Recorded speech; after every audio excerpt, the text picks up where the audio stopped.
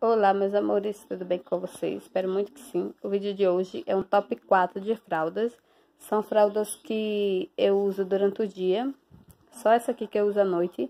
É, fralda roupinha eu uso no tamanho G e as fitas são tamanho XG. Mas antes de começar, você já se inscreve aí no canal, tá bom? Deixa aquele like e ativa o sino de notificações para ficar poder de todos os vídeos. É, então vamos começar. Em primeiro lugar, eu deixo essa fralda aqui, a fralda roupinha da Pompom ela, eu acho ela bem melhor que a Hungers e do que a Mami Pouco. Ela é muito boa, muito boa. Quem me acompanha aí sabe que eu fiz uma resenha, um top 5, né? Com essa daqui, é, só que era no tamanho XG e eu só tive pontos negativos. Odiei ela, ficou até em último lugar e falei que ela ficaria sempre em último lugar.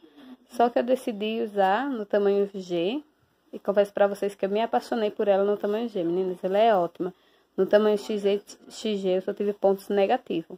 Mas nesse tamanho eu amei, não vaza aqui em casa e ele passa a noite toda com uma fralda só. Então, assim, ela fica em primeiro lugar. E tem resenha dela no canal, tá bom? Em segundo lugar, eu deixo essa daqui da creme, que também já tem resenha aqui no canal. Ela fica em segundo lugar, uma fraldinha tamanho XG, e eu uso ela durante o dia no Pietro.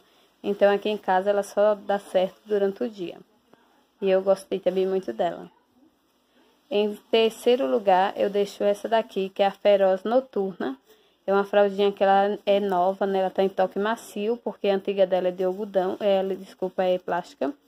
E ela tá em toque de algodão, ó. A nova que é de algodão, toque de algodão. A antiga é plástica.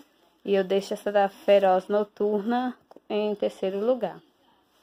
Em quarto lugar, eu deixo essa daqui, que é a fraldinha da, da da Nani Tunes. E eu não gostei muito dessa fralda, eu deixei ela em quarto lugar. Eu deixaria ela até em quinto, mas como só tenho quatro opções de fralda aqui em casa, então ela fica em último lugar, né? Em quarto lugar. Mas é uma fraldinha boa para usar durante o dia em trocas rápidas. Então, se você não gosta de estar tá trocando muito seu bebê toda hora, eu não aconselho comprar essa fraldinha. Porque ela é para troca rápida. Então, eu deixo ela em último lugar. E o vídeo de hoje foi esse. Se vocês gostaram, já sabe, se inscrever no canal, deixar aquele like e ativar o sininho de notificações e compartilhar. Beijo e até o próximo vídeo. Tchau!